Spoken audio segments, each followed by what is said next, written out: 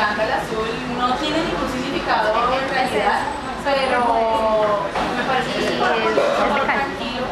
No sé, me encanta. Bueno, ¿y cómo era Nico cuando era canzoncita? ¿Era canzoncita? ¿Cómo era? No, yo no sé cómo es. Él es mío. Ah,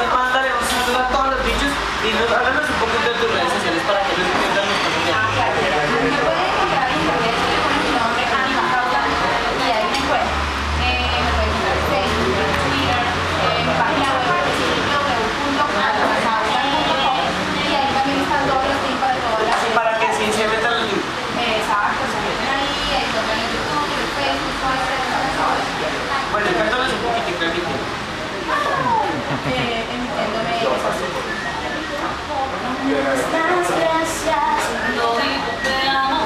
No digas gracias cuando digo te quiero. Eso es tan mal.